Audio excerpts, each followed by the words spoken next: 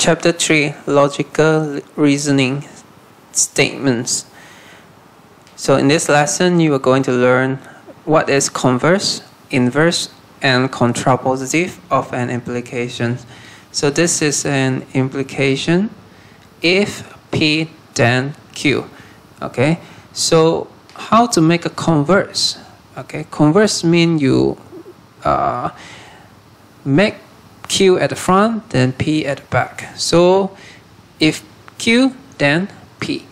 So for inverse, you need to inverse this. Okay, you add a tilde in front of that. So if not P, then not Q. Okay, for contrapositive, you reverse this. Okay, so if not Q, then not P. Okay, so let's see the example. So P statement is x is a negative number, and Q statement is x is less than zero.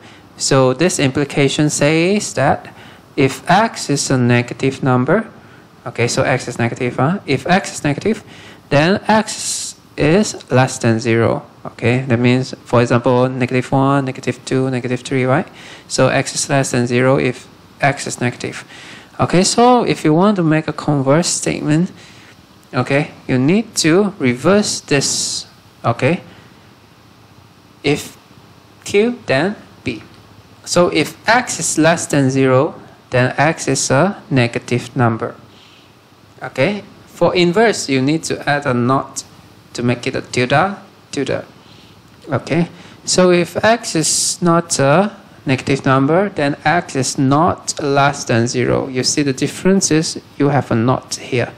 Okay, you have uh, you has already negate the p and negates the q. Okay, by using the word not. And then for contrapositive, you need to reverse this. Okay, you reverse this too. So if x is not less than 0, then x is not a negative number. Okay, so if x is higher than 0, then x is a positive number. That's, that's the meaning, right? Okay, so you can try to do this question. If x is 2, then x cubed equals 8. Okay, you try to make a converse statement and an inverse and then contrapositive. Okay, so that's the lesson for today. Okay, don't forget to hit the like and subscribe button and you may also go check out the Facebook page and blog for, for more learning materials. And thanks for watching. See you in the next lesson.